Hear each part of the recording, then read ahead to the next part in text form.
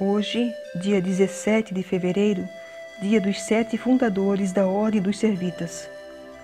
Com a formação das comunas nos séculos XII e XIII, formou-se também na Europa uma nova burguesia feita de comerciantes, artesãos, banqueiros e cultores das artes liberais, entre os quais alastrou-se o espírito de ganância, luxo, prazeres e domínio, que contratava com os princípios cristãos professados oficialmente pela sociedade.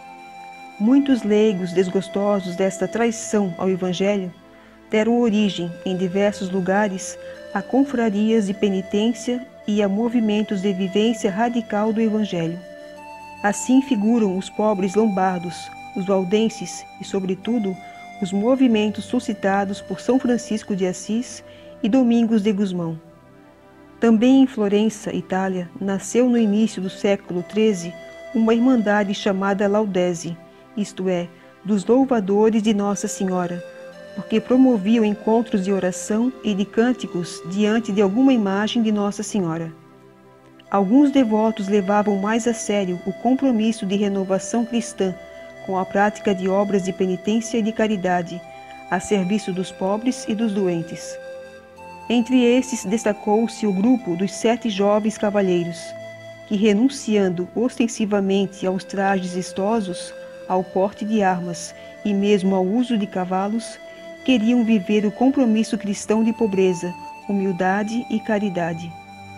Os sete pertenciam às famílias mais tradicionais e aristocráticas de Florença e levavam os nomes Bonfilho Monaldi, Bonaiuto Manetti, Manetti del Antela, Amádio Amidei, Ugócio Ugocione, Sostênio de Sostene e Aleixo Falconieri. Após terem dado prova de seriedade em seus propósitos vivendo em família, sentiram a necessidade de morar junto e dedicar-se mais à oração e à assistência aos pobres e doentes. O bispo de Florença abençoou esta iniciativa, solicitando do governo municipal que respeitasse o empenho de penitência e caridade desses homens de paz. A primeira residência, pobre e humilde, era perto do cemitério, fora dos muros da cidade. Mais tarde se transferiram ao Monte Cenário, lugar deserto onde, sob a pressão de numerosos jovens dispostos a imitá-los, se organizaram em comunidade monástica. Nasceu assim a Ordem dos Servos de Maria, ou Servitas, que vestiram um hábito preto em sinal de luto. De fato, uma das características desses religiosos era a devoção e o amor a Maria Santíssima, que aos pés da cruz de seu filho Jesus deixou-se crucificar espiritualmente para a salvação dos homens. Os sete fundadores, com exceção de Aleixo, mais tarde foram ordenados sacerdotes, a fim de, através do ministério pastoral, partilhar mais de perto das lutas, sofrimentos e das esperanças dos pobres. A antiga capelinha dos louvadores de Nossa Senhora, que representava a Virgem da Anunciação, foi mais tarde por eles transformada em igreja majestosa, onde grandes artistas deixaram obras-primas de pintura, e que também hoje em dia é a igreja de culto mariano mais frequentada e querida pelos habitantes de Florença. Os santos fundadores continuaram a vida em comum, consagrada à contemplação unida à vida ativa do apostolado na difusão do culto e da espiritualidade mariana no mundo. Um após outro, os sete faleceram com fama de santidade.